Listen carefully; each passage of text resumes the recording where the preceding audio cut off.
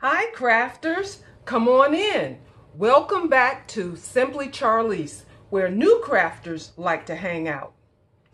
Last week, when we got together, we created a soap with a 4th of July theme. Remember, red, white, and blue. And so when my husband came home and I showed him what we had done, he said, That's nice. But you jumped right over uh, Father's Day. And I was like, Father's Day, yeah but I don't really have any soap ideas for men to, to speak of. Um, I do have a couple of soaps on my website, but they're just um, just white based, you double butter soaps. And the only thing that makes them pretty is the wrapping, you know, because it's my idea that men don't really care about the aesthetics of the soap as long as they, you know, get clean. But I went online and I started searching and I found something that I think might work. So this is what we're going to be working with today. I found this mold on Amazon and I'm hoping that you can see it's like a soccer ball, a baseball, a football, and a basketball. Let me turn it over on this side. Maybe you can see it even better. You see that? And when I got the mold in the mail, I was like, ooh, this is kind of big. I didn't realize it was as big as it is. But I think we might be able to work with it. Uh, I don't think I'm going to fill the mold all the way up to the top. And that way it won't be such a huge soap. Um, my plan is to make it like a six ounce bar. Okay and I did this and it's like okay a guy with a rather large hand that'll that'll fit pretty good. But anyway we're gonna try this. Yeah this is gonna be interesting guys. But we're gonna try it okay? Let's get started. The tools and the supplies that we're gonna need for this project today. Our handy dandy thermometer to keep up with our temperature something to measure our fragrance oil, our fragrance oil, which we're going to use tobacco and bay leaf. And it, it's a very, it's a masculine smell. Real, really nice. Uh, alcohol to pop the bubbles. I'm going to be using, oh, I, you know, I forgot in the introduction to tell you that I'm going to, I'm not going to do all four of these. I'm going to try the baseball and the basketball. And that's going to be interesting with the basketball because I don't really know how, how, how that color is going to work. But anyway, so we're going to just do those two. Um, so I'm going to, I'm going to mix some red and yellow to try to come up with a deep orange for the basketball. And I haven't done a whole lot with micas, but that's the only black that I had. And I'm going to use that for the lines in the basketball. And I'll do some red for the lines in the baseball. Okay, is there any, oh, well, and I'm going to mix my mica in this little cup with a, uh, with, with a bit of alcohol. Is there anything, oh yeah, and I'm going to try, and I don't know if this is going to work, guys, but we're going to try this. My, my thought is that if I try to pour, can you see that? The red in the uh, in these lines for the baseball, for example, that's going to be a solid mess. I just don't think I would be able to do a very good job of that. So I'm going to try to get some soap on the on this little tiny brush and try to paint it in. And again, I don't know if it's going to work, but we're going to give it a try, guys. Yep, nothing ventured, nothing gained. And I think that's all we, we're going to need except the soap base. And I'm going to be using, I'm using shea butter. And I went to Hobby Lobby and there were finally some soap base on sale, but they didn't have just clear glycerin. So I'm going to be using this honey and I'm hoping that it'll take uh, the color like the clear glycerin, okay?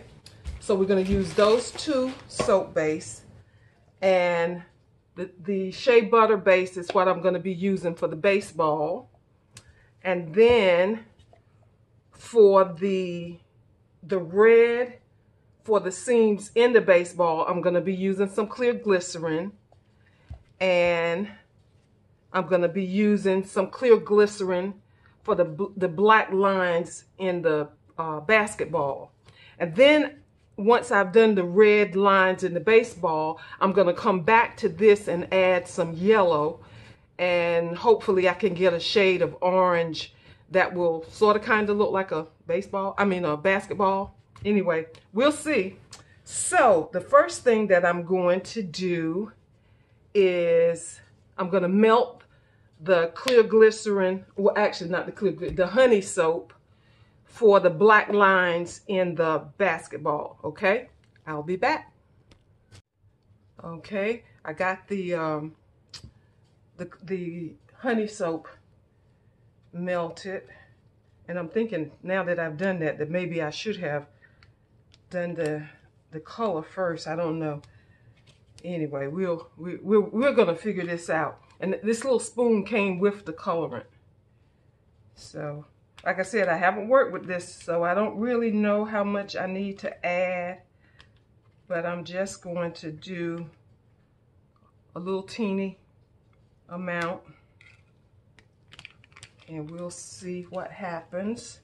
And the, the reason that we do the mica with the alcohol in a separate vessel is I've seen other soapers say that if you put the mica directly into the soap base without first uh, dissolving it in uh, with the alcohol, it doesn't blend very well. You know, it has little, like, I don't know, looks like little crumbs in it. Okay, that's what we got. I don't know if that's going to be enough, but we'll start with this anyway. All right, let's see. See if we need to make some more. I probably made more than I need. Oh, this is pretty. Oh my goodness. I can see why people like working with mica. Mmm. It has like a, a shimmer to it. I hope that'll be black enough, but that is really pretty. I don't know if the camera's giving it justice. I don't know if that says ba basketball, but it is pretty. Uh, we're, we're going to try to work with it. Yeah. We'll have to see. All right, guys. I don't know if this is going to work, but we're going to give it a try. All right, so the basketball is right here. And I'm going to just dip. It almost feels like I need to let it get a little uh, thicker. But I'm going to try.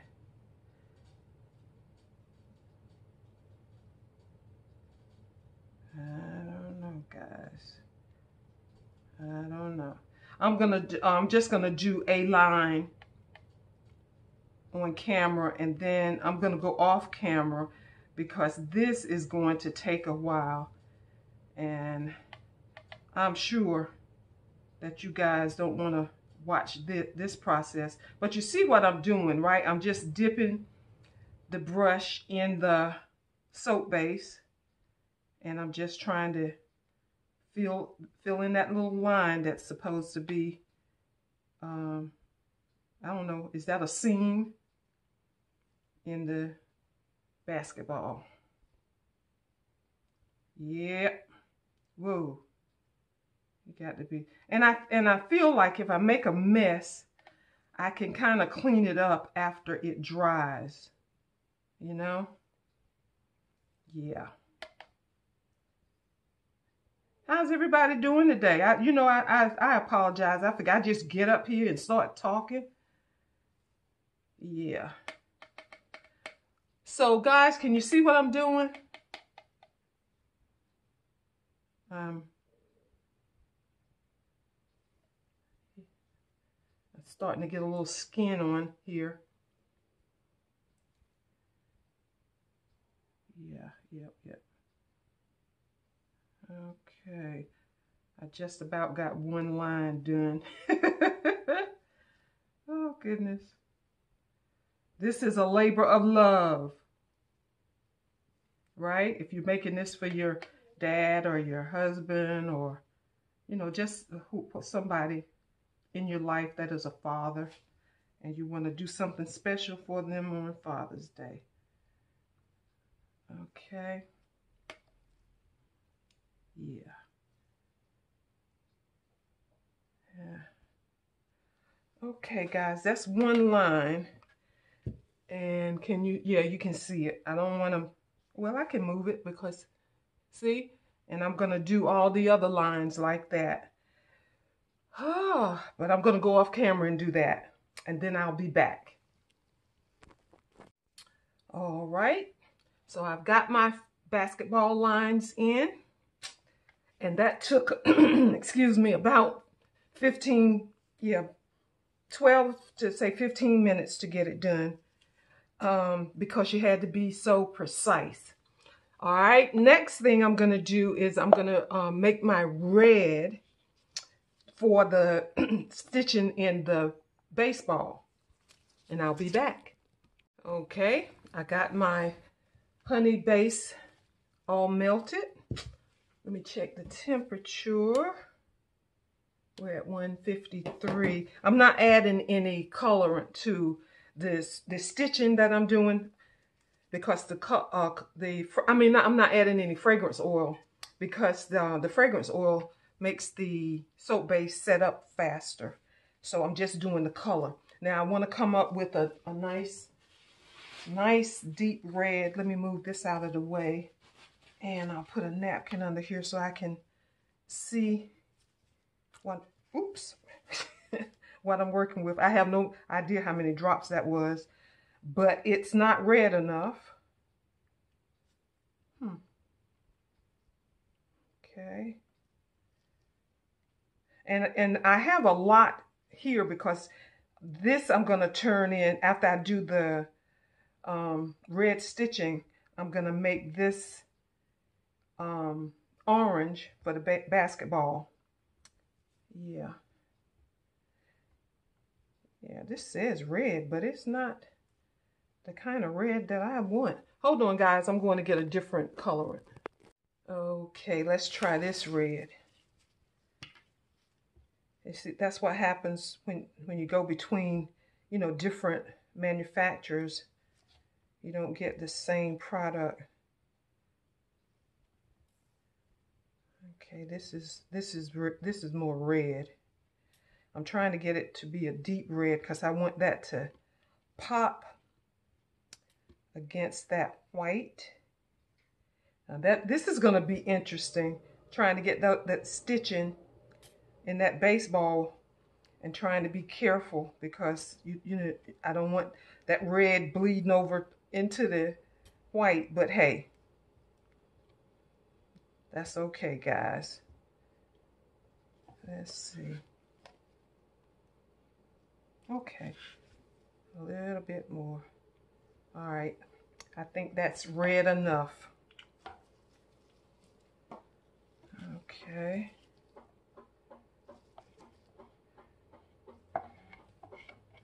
Now, I'm just going to get started on the, the stitching and then I'm going to go off camera like I did with the with the other one. Okay.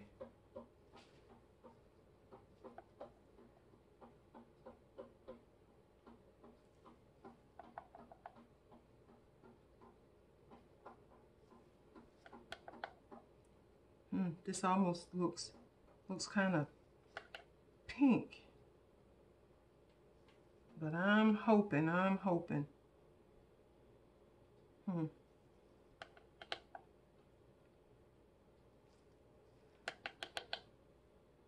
We shall see. Like I said, this is a labor of love. Anybody that does this, it's fun though. You just never know what you're going to come up with. I think these molds were, I don't know if they were supposed to be like cake molds or muffins or, or what. But anyway, you know, anytime I see a silicone mold in a shape that I like, you know, something that I could make a soap out of, I, I go for it. Okay, so that's one of them. And I'm going to go ahead and do the other one off camera and I'll be back. I got the stitching on the baseball done. Not gonna, not gonna lie guys, I'm a little nervous about this. Um, I've gone ahead and I've uh, melted the, the red again and I'm gonna add some yellow to it to try to come up with an orange. Let's see.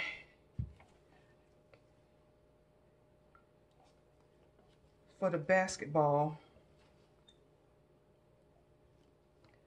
Let's see. I don't know, guys. We may end up with a red basketball. Yeah. Let's see.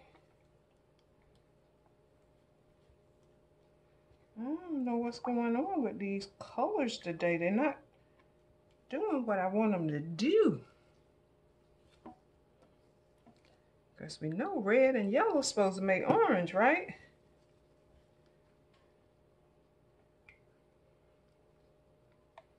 And it's like that red wants to stay red. See it?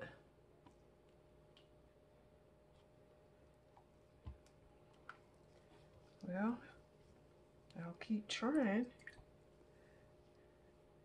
This might be, it might be that this yellow uh, fragrance oil is not a very good one. But anyway, guys, we're going to go with this um, basketball regardless. If it's a red basketball or if it's an orange one. Okay. Let's see. I know it's cool enough to add the fragrance. Yeah, oh yeah. I need to get that fragrance in there. And this is, like I said, tobacco and bay leaf, which is a very masculine scent. Yeah. Mm-hmm. Yes, it smells like a man is in the kitchen. All right. It's almost like the yellow is is is on the sides, but it's not combining with that um with that other color. Hmm. Uh, all right, guys, I'm gonna go off camera for a second and see if I have another yellow that I can use that might work better. Hold on. Never mind, guys. I dripped a little bit on the napkin so that I can see what the actual color is. And it is kind of an orange. So we're going to go with this. Smells good. And we are going to pour our basketball. And I'm not going to fill it all the way to the top because I think that would be too big. But it is going to be a pretty good size soap. Okay. All right, let's pop those bubbles. And we'll wait on that. And the next thing we're going to do is melt our shea butter. And that's going to be our baseball. I'll be back. Okay, guys. I forgot to spray the um, the lines on the basketball so I am really sweating this one now because it it may not stick to the um to the to the orange. Ugh. And and I'm always telling you I can't emphasize enough how important it is to spray your layers and your embeds. But anyway, we will see. All right, we're at 153. Let me add the fragrance oil. Oh, I am so, well, no point in getting upset, right? Stuff happens, right? Just don't, don't, don't forget to add your, um, to spray your embeds and your layers so that everything will bond together. All right, it smells good. Well, I'm not going to forget this time. Let me see. Okay. Let's see if this is too warm because I don't want it to, to melt those lines. Oh, yep, it's a little bit too warm. It's at 150. I'll be back. Guys, we are cooled down. And I'm just going to pour and hope, hope, hope for the best. Let's see. I'll go ahead and pour. Might as well pour it all. Get those bubbles out of there. All right, guys. All that's left to do now is to wait for them to set. And then we'll unmold them together and hope for the best, okay? In the meantime, I'm going to clean up all this stuff. And uh, I'm nervous, guys. I'm nervous. But hey, what am I nervous about? If it's a fail, it's not because I didn't try, right? All right, guys, I'll be back. All right, crafters, we're back and our soaps are set. I had a little bit of um, the black and the orange and even a smidgen of the white left over. And as I always do, I put them in this uh, A mold so that I can use them in another project. I'll show you what, what we got. Or use them as um, business card embellishments. Okay. Huh. Oh, that would be just a cute uh, embed there right by itself. See, I didn't have much of the white left. But I got a couple of the black pieces and it smells manly, but they're flowers, but I'll figure something out. And then I have a couple of the orange pieces. Okay. All right. Now let's see what we got here. I'm gonna take out the baseball first. Okay. Looky, looky. Not bad. Yeah, I would have liked that red to, to have been more red, but, you know, for a first try, that's not too bad, huh? And it's a good size bar. Yeah. Okay.